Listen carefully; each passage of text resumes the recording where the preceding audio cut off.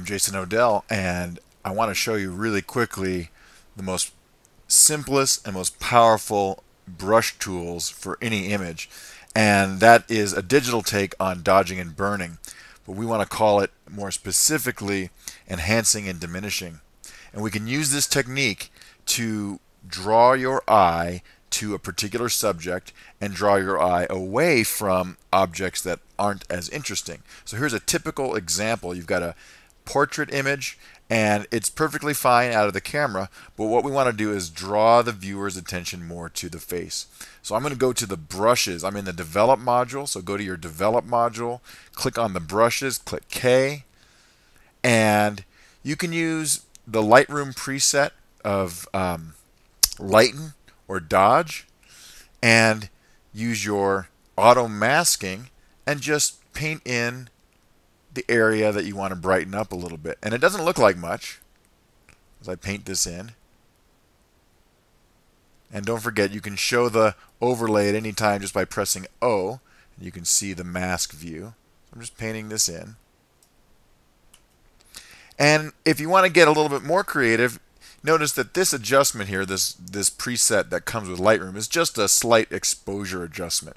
You could increase that uh, enhancement by boosting up the shadows a little bit, opening up the shadows, maybe opening up the highlights a little bit more. Just small adjustments.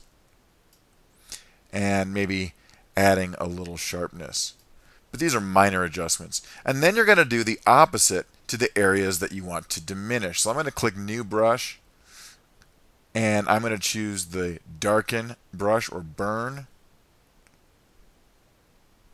And again, with auto masking on, I can just paint right around here. Paint in the areas that I wish to diminish. Now that's just a straight exposure adjustment. Again, you can apply some of the techniques uh, from Rembrandt and others, which is by darkening the, the area as well as lowering contrast and slightly lowering saturation, you're going to further diminish those areas.